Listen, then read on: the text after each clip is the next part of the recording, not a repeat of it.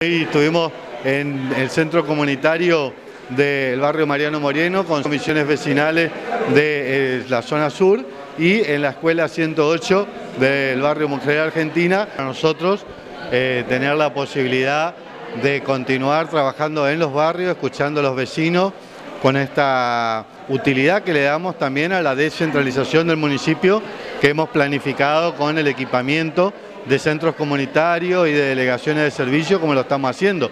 Esto nos permite estar mucho más cerca de los vecinos, trabajar en el barrio, tomar nota allí de los distintos reclamos, las distintas cuestiones de propuesta y planteo de los vecinos.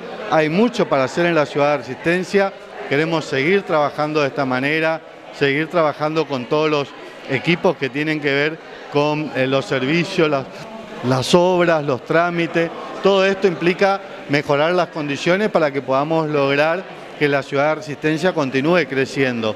Sabemos que hay muchas cosas para resolver en los distintos barrios de la ciudad, pero bueno, paulatinamente, eh, trabajando en el barrio, escuchando a los vecinos, como nuestra, es nuestra característica de siempre, lo vamos a ir logrando. Con respecto al conversatorio que se está dando ahora, me parece lógico, me parece una cosa que digamos, todos los, presidentes de barrio nos va a favorecer, eh, los pedidos que hay de, los vecinos, el arreglo de los, barrios y tratar de, apoyar. Esperamos soluciones que creería que llegaremos a solucionar un poquito los problemas de cada, cada barrio. En el sector mío de mi barrio estamos peleándola ahí, arreglo de calle, pedimos eliminación de basural, iluminación, ripio.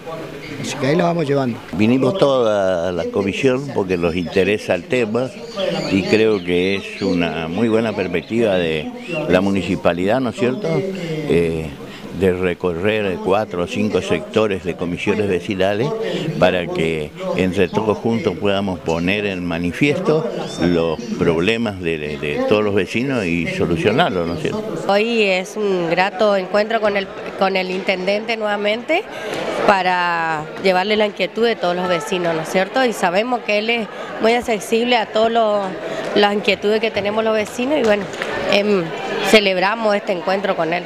Me pareció espectacular lo que, lo que se habló. Eh, Gustavo, el intendente, dio solución para, para los barrios y también se hizo muchos pedidos, así que bueno, muy contenta.